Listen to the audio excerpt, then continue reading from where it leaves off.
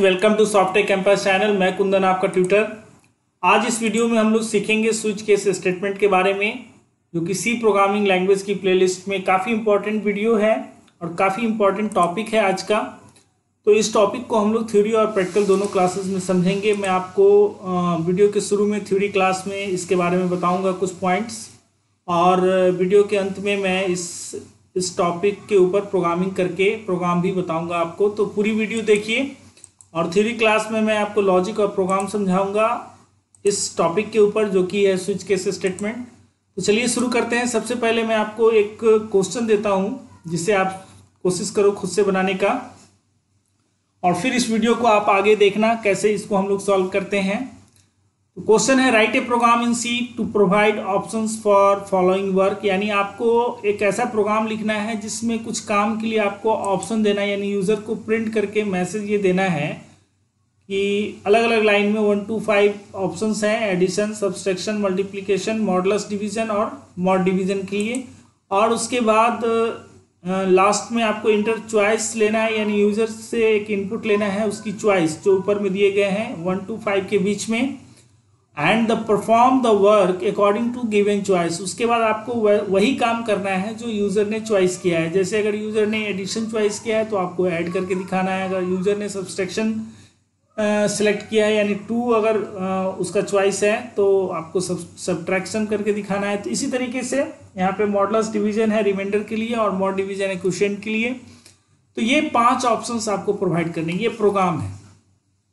तो आप जब इसको बनाने चलोगे तो आपके पास अभी तक क्या ऑप्शन है? आपने इफेल्स अगर पढ़ा हुआ है तो आप इसको बना सकते हो ने, नेस्टेड एलसिफ का यूज़ करके।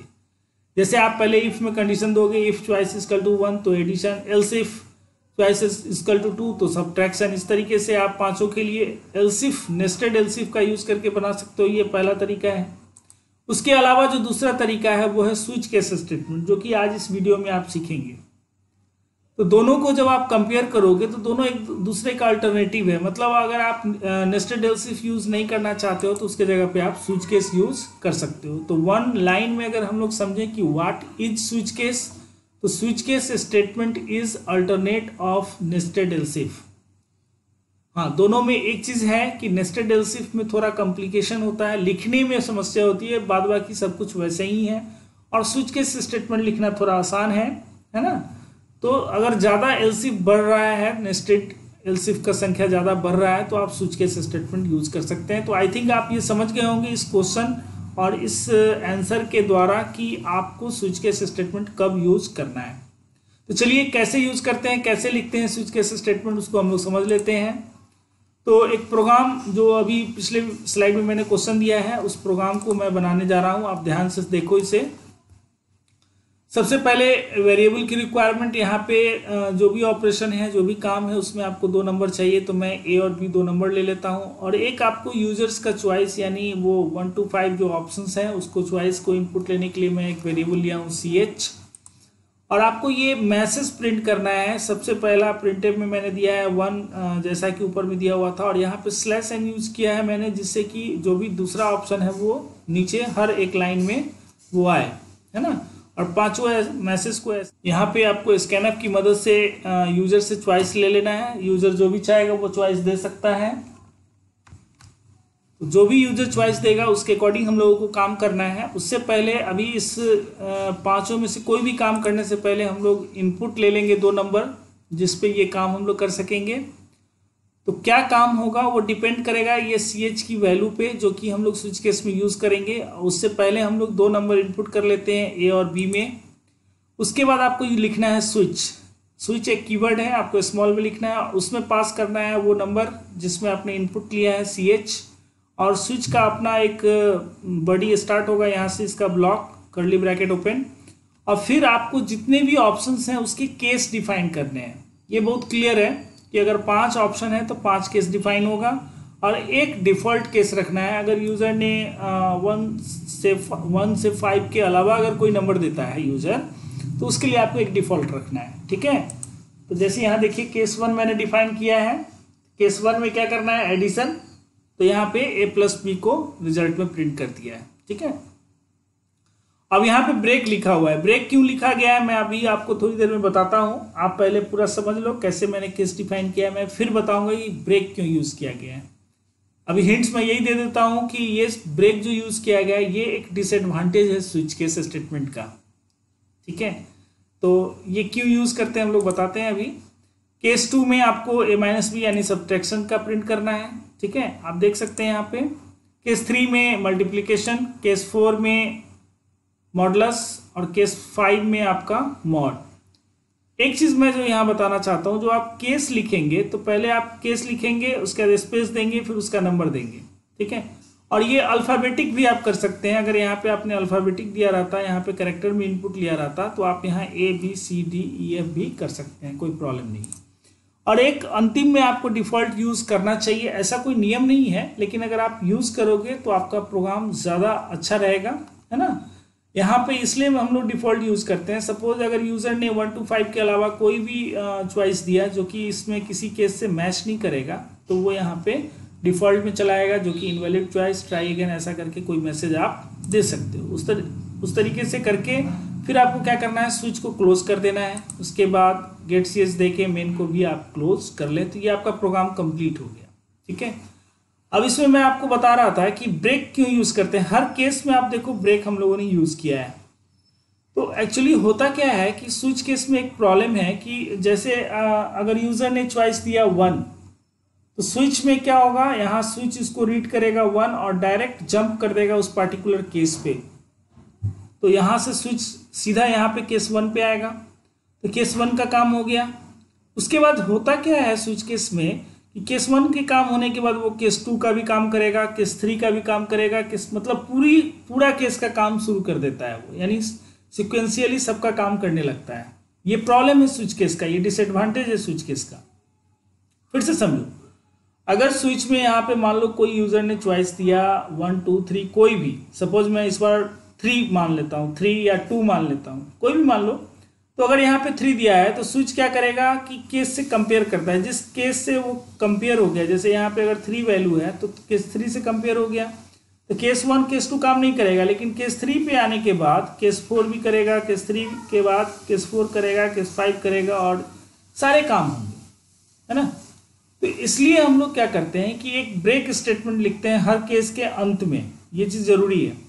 जब उस केस का सारा काम हो जाता है तो ब्रेक लिख देते हैं। इससे क्या फ़ायदा होता है कि स्विच से डायरेक्ट जंप करने पे उस केस का काम होने के बाद वो ब्रेक स्टेटमेंट क्या करता है? स्विच के ब्लॉक को तोड़ देता है। यानी हम लोग स्विच के बाहर आ जाते हैं।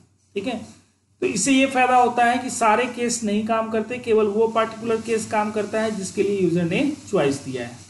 अदरवाइज़ अगर हम लोग ब्रेक नहीं लगाएँगे तो उस पर्टिकुलर केस के बाद वो कंटिन्यूस काम करता रह जाएगा, जैसे case one two three four five सारे केस काम करेंगे। ठीक है? तो इस चीज़ को आप प्रैक्टिकली भी करके देख सकते हैं। मैं आपको बताने की कोशिश करूँगा कि अगर ब्रेक नहीं लगाएँगे तो क्या प्रॉब्लम होगा? अगर ब्रेक लगाते हैं तो उससे क्या फ़ायदे हैं? तो आई थिंक आपने स्विच केस स्टेटमेंट को समझा कि स्विच केस स्टेटमेंट क्या है और कब यूज़ करना चाहिए। ये नेस्टेड एलसिफ का अल्टरनेटिव है। दूसरा, आपने ये प्रोग्राम देखा कि कैसे इसका प्रोग्राम बनाया जाता है। और फिर मैंने आपको ब्रेक का भी बताया कि क्यों हर केस में ब्रेक लगाते हैं। ये एक डिसएडवांटेज होता है स्विच का। तो चलिए हम लोग प्रैक्टिकल क्लास में और देख लेते हैं प्रोग्राम बना के कि कैसे स्विच के स्टेटमेंट का प्रोग्राम हम लोग लिखें, कैसे इसको रन कराएँ। और इससे पहले कि हम लोग प्रैक्टिकल क्लास में चलें और अपने प्रोग्राम को रन कराएँ, मैं अपने नए यूज़र्स को बताना चाहता हूँ कि अगर आप इस तरह का वीडियो देखना चाहते हैं तो हमसे जुड़ने के लिए आप हमारे ये सब्सक्राइब बटन पर क्लिक करें और नोटिफिकेशन बेल को भी आप क्लिक करें जिससे कि वो सारी वीडियो अपने आप आपको मिल जाए। और जितने यूज़र व्यूवर हमारे इस वीडियो को देख रहे हैं जो भी स्टूडेंट्स हैं अगर उनको ये वीडियो पसंद आ रही है तो लाइक और शेयर करें। और कमेंट करें अगर उनको कोई भी प्रोग्रामिंग या कंप्यूटर साइंस सब्जेक्ट में प्रॉब्लम हो तो मुझे कमेंट करें मैं उनको जवाब दूँगा उनको समझाने की कोशिश करूँगा। करा के देख। Welcome to practical class of this video आज इस वीडियो में हम लोग सीख सीख रहे हैं स्विच केस स्टेटमेंट कैसे लिखा जाए। और मैंने थ्योरी क्लास में आपको बताया है कि स्विच केस स्टेटमेंट क्या है और कैसे यूज़ करना चाहिए। और उसकी एक प्रोग्राम भी हम लोगों ने डिस्कस किया है, जिसमें मल्टीपल ऑप्शन हम लोगों को प्रोवाइड करना है। और यूज़र से चॉइस लेके फिर उस चॉइस के अकॉर्डिंग हम लोग स्विच केस में काम करने हैं। तो चलिए उस प्रोग्राम को हम लोग रन करा के देखते हैं। सबसे पहले मैं आपको बता दूँ कि ये जो फ़ाइल मैंने खोल के रखा है, उसे मैंने switch switch demo dot C के नाम से सेव किया है। और कुछ फंडामेंटल चीज़ें जो हम लोग हर प्रोग्राम में लिखते हैं, वो मैंने लिख के पहले से रखा हुआ है, ठीक है? अब सबसे पहले हम लोग जैसा कि हर प्रोग्राम में वेरिएबल डिक्लेयर करते हैं, वैसे यहाँ पे वेरिएबल डिक्लेयर कर लें। दो वेरिएबल मैं ले रहा हूँ यहाँ पे इंटीजर टाइप का, जो कि नंबर है, जिस पे हम लोगों को काम करना है, और एक हम लोगों को इंटीजर टाइप का लेना है चॉइस जो कि यूज़र से चॉइस जो इनपुट करानी है, उसके अकॉर्डिंग उसके बाद हम लोगों को यहाँ पे ऑप्शंस प्रिंट करने हैं, जैसा कि आपने थ्योरी में देखा होगा। तो वन नंबर में आपका है, यहाँ पे एडिशन हम लोगों को लेना है। तो एडिशन लिख दीजिए और लास्ट में स्लैश एन ज़रूर दे दीजिए, जिससे कि अगला जो ऑप्शन हो, वो न्यू लाइन पे आए। अब इसे कॉपी करके मैं इसे यहाँ पे पेस्ट कर लेता हूँ, ठीक है? फाइव ऑप्शंस देने हैं हम लोगों को तो मैं फाइव टाइम्स इसको पेस्ट कर लेता हूँ, ठीक है? वन टू थ्री फोर है अब इसको फिर अलग अलग ऑप्शन के हिसाब से आप चेंज कर लीजिए। जैसे टू यहाँ पे क्या देना था?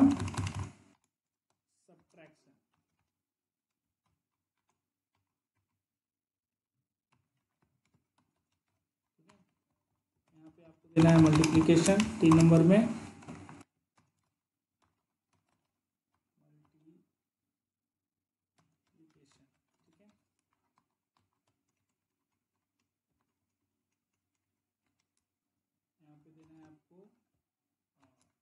मॉडुलस डिवीज़न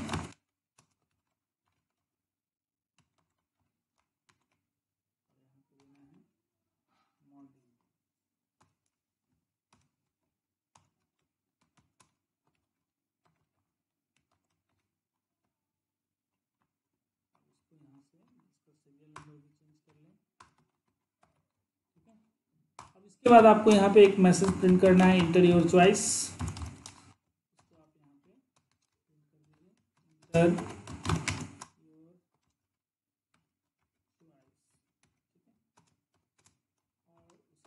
लीजिए आप सी एच में.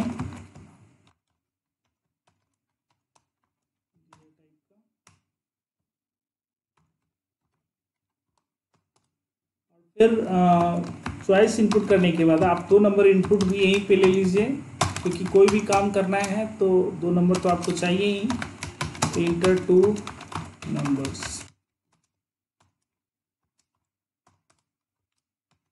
scanner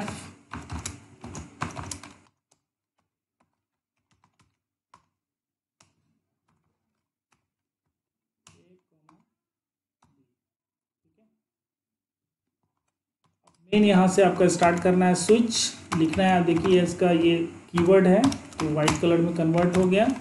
और स्विच के अंदर आपको पास करना है चॉइस जो कि आपने यूज़र से इनपुट लिया है। और केस डिफाइन करना है। केस डिफाइन करने से हमें केस लिख के स्पेस दे के फिर केस का नंबर डालना है, फिर कॉलम देना है, ठीक है? और यहाँ पे आपको प्रिंट करना है अकॉर्डिंग टू ऑपरेशन जैसे पहला जो काम है वो क्या है? एडिशन का काम है। तो रिज़ल्ट में हम लोग प्रिंट करेंगे।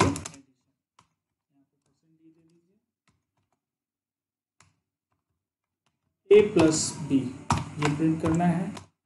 अभी मैं बिना ब्रेक का मैं यूज़ करके आपको बताता हूँ, क्योंकि ब्रेक की क्या कहानी है, वो आप देखें प्रैक्टिकल क्लास में, समझें इसके आउटपुट से। अभी मैं ये केस वन का पूरा ये दोनों कॉपी कर रहा हूँ।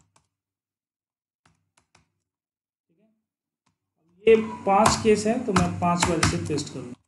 फिर बाद में इसे हम लोग चेंज करेंगे, जैसे कि ऑप्शन हम ने चेंज किया टू थ्री फोर फाइव हो गया। अब यहाँ पे आपको केस का नंबर बदलना है। केस टू और इसमें क्या करना था आप लोगों को? Minus three multiplication case four यहाँ पे करना है। डिवीज़न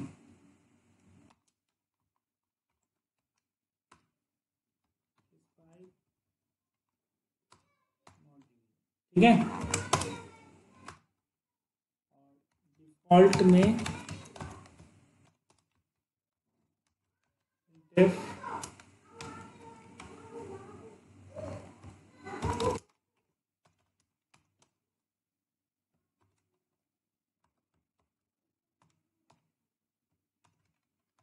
valid choice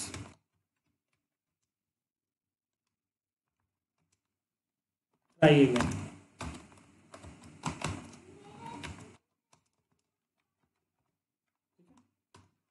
ये आपका स्विच केस कंप्लीट हो गया। आप यहाँ पे गेट सेल्स देखिए मेन प्रोग्राम को बंद कर लीजिए। अब देखिए, बहुत सिंपल प्रोग्राम है। आप देख सकते हैं कैसे मैंने स्विच केस लिखा है। अभी इसमें एक चीज़ मैंने छोड़ दिया है। हर केस में ब्रेक देना मैंने छोड़ दिया है, ठीक है? चलिए इस प्रोग्राम को पहले कंपाइल करते हैं। कोई एरर नहीं है। फिर इसको हम लोग रन करते हैं। देखिए, सारे ऑप्शंस दिख रहे हैं आपको. Addition subtraction multiplication modulus mod सारे ऑप्शंस दिख रहे हैं. यहाँ पे मैं यूज़र चॉइस देता हूँ वन दो नंबर मांगे जा रहे हैं, मैं नंबर भी दे देता हूँ. ठीक है? तो अभी सबका रिज़ल्ट आपको दिख रहा है. सबसे पहले देखिए, आपका जो रिज़ल्ट है एडिशन का रिज़ल्ट आ रहा है फिफ्टी फाइव जो कि सही है. आपका फिर सब्सट्रैक्शन का आ रहा है twenty two minus thirty three minus eleven आएगा, ये भी सही है.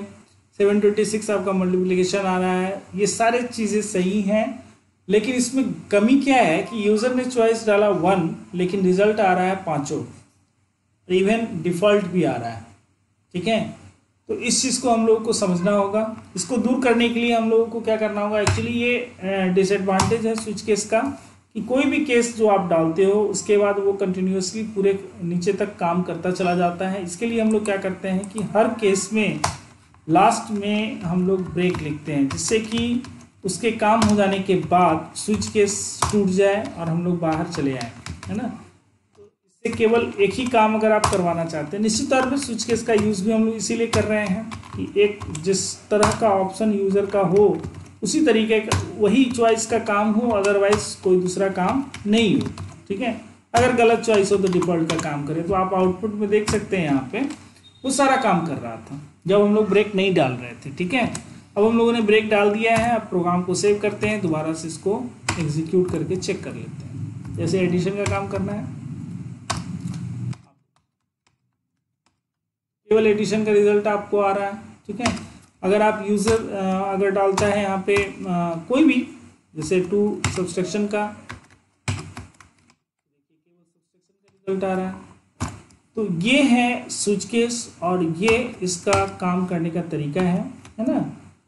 तो आई थिंक आप समझ रहे होइएगा कि कैसे ये काम कर रहा है। सारे ऑप्शंस यहाँ पे आपके काम कर रहे हैं, है ना? सपोज़ मैं टू से मॉडलस करता हूँ सारे ऑप्शंस को आप चेक ज़रूर कर लीजिए, मैं भी वही कर रहा हूँ। तो आई थिंक आज जो हम लोग ऑप्शन यूज़ किए हैं स्विच केस में, वो सारे ऑप्शन सही सही काम कर रहे हैं। हम लोग सारे ऑप्शंस को चेक कर लिए यहाँ पे। आप भी इस प्रोग्राम को रन कराइए। आई थिंक आपने स्विच केस स्टेटमेंट का प्रोग्राम समझा होगा थ्योरी और प्रैक्टिकल क्लास में। तो अगर ये वीडियो पसंद आई तो आप इसे लाइक और शेयर ज़रूर करें। और any doubt in any type of problem अगर आपको प्रोग्रामिंग लैंग्वेज में या कंप्यूटर साइंस के किसी भी पेपर में किसी भी तरह की समस्या हो तो मुझे कमेंट करें, मैं आपको रिप्लाई करूँगा। और आने वाली वीडियो देखना है तो आप हमारे चैनल से सब्सक्राइब रहें और बेल आइकन पे क्लिक कर लें, ये चेक कर लें कि आपने अभी तक किया है या नहीं। तो चलिए, मिलते हैं अगली वीडियो में, तब तक के लिए take care keep programming keep practice keep learning thank you bye bye